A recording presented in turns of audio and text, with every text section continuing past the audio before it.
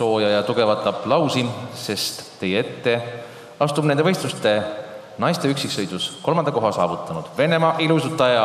Aleksandra Trussova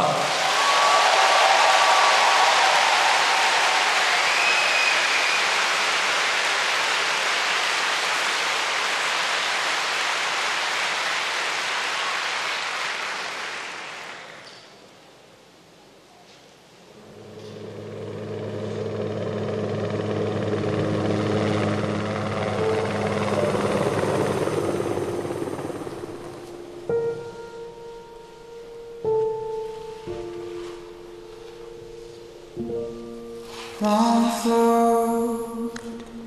on shipless oceans. I did all my best to smile till your singing eyes and fingers